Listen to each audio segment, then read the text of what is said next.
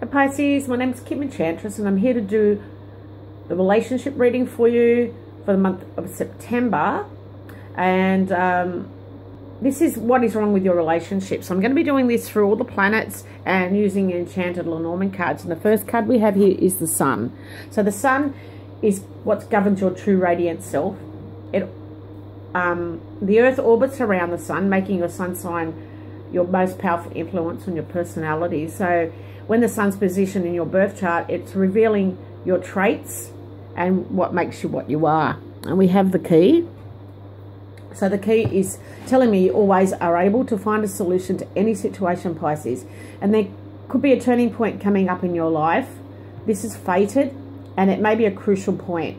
And it, card also tells me that you are a sign that influences others. Now the timing of this card is now and eternal. We've got Mercury, which is a very fast moving card, a planet I should say. It influences how you communicate with your romantic partners. Now, we have the garden that goes with it in the Lenormand cards. And it's telling me you love communicating with partners online.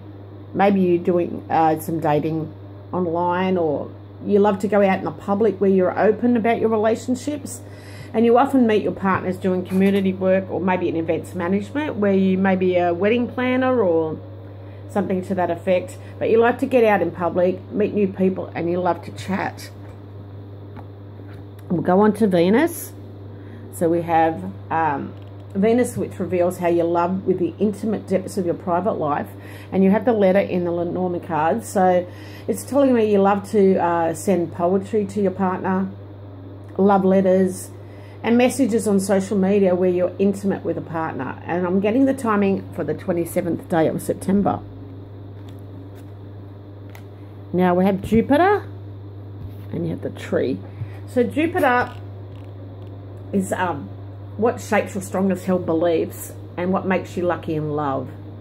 Now we have the tree and it's telling me you're open to love that is nurturing and that has a lot of growth. Now, you love a budding relationship and you want the strong, solid relationship that doesn't sway away from you here, Pisces. We have Mars and we have the bouquet. Now, Mars unveils your deepest desires, what you truly lights your fire when it comes to love.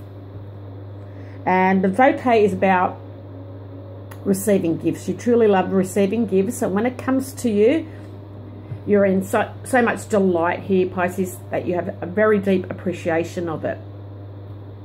That's a beautiful uh, message that's coming through for you. Now we have Saturn and we have the heart. Now Saturn's here to teach you your love's greatest lessons. It shines a light on your deepest relationship challenges and limitations that you have to overcome in love. Now, the heart's fallen out for you, and it tells me that you're loving, kind, and gentle, but you fall head over heels, Pisces pretty much straight away when you're passionate or attracted to somebody. Now, this could tell you not to wear your heart on your sleeve, as some partners do take advantage of your loving nature. So that's a message that's coming through for you. Then we have Uranus and the crossroads.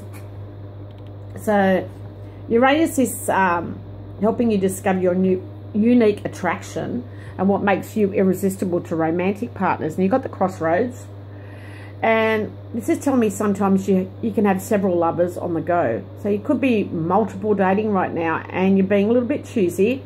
But remember that a partner always wants what they, what they can't have, even if you're already committed. Now we have Neptune and the mice. Neptune reveals your rose-coloured glasses. What makes you weak at the knees when it comes to love. And we have the mice. So maybe um, you like when your partner gets a little nervous around you. Or this could be you. It's a, like a little obsessive behaviour. But you love how they are clingy and jittery around you.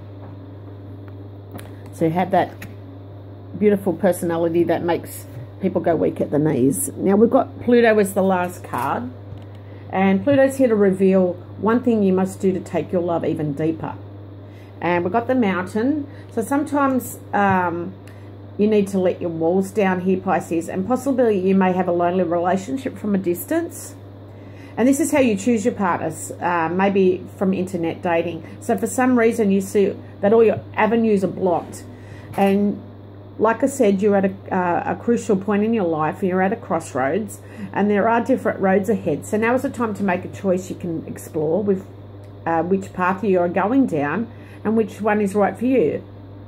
Now, be careful, one person could be bisexual. Now, I've got the theme of the reading here for you and it's going to give a little bit more insight to this reading. So what this is telling me, there is going to be a karmic meeting for some, and this is going to take place in a spa. You need to get out there and socialize this month. Join in on groups and get involved in community spirit. Now, meet new people and reach out. This may be stressing you, which will bring on anxiety, but keep yourself strong and healthy inside and out, mind, body, and soul, and spirit. Yeah. And uh, Pisces, some of you have relationship worries. Stop making mountains out of molehills by letting small problems get to you.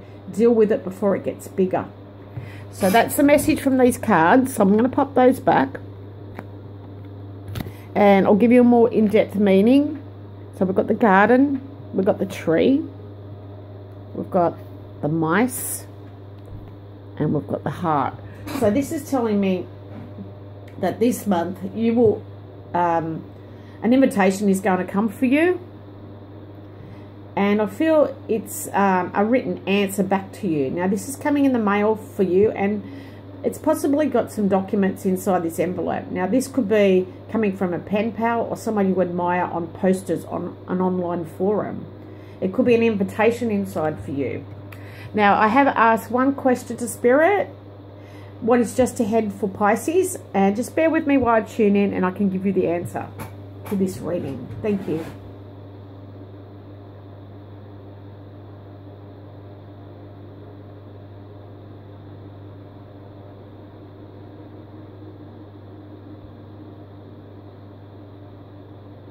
Okay, the message is pertaining to this reading here, Pisces, and you can end your worries just by deciding to do so it's up to you, Pisces.